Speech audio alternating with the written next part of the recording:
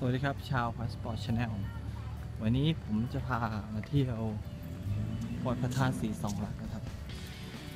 จังหวัดเลย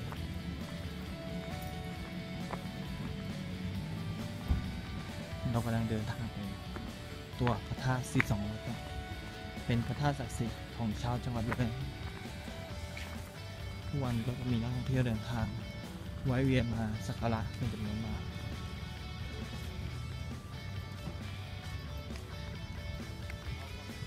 องค์พระธาตุจะอยู่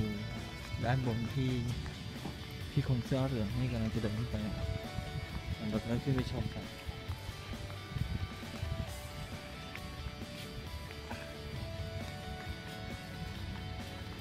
วัดนี้สร้างเมื่อปี 2103 ถึง 2106นะครับ ในรัชสมัยสมเด็จพระมหาจักรพรรดิแห่งกรุงศรีอยุธยา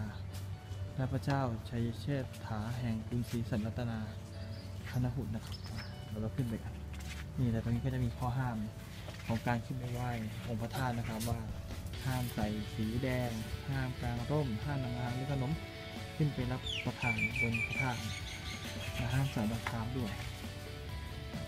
ขึ้นไปด้วยกันท่องเที่ยวก็จะเดินถ่ายหลายรูปเล่นนะครับ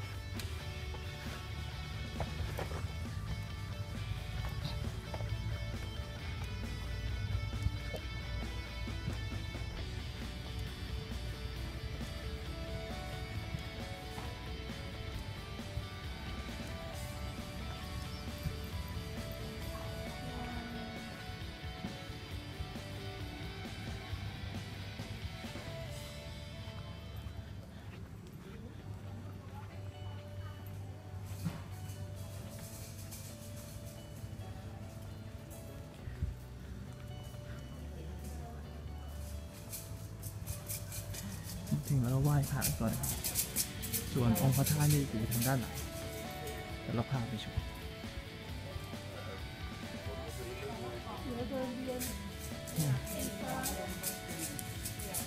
องค์พระธาตุสีสองหลักแล้วก็มีชาวบ้านนำต้นเทียนมาไหว้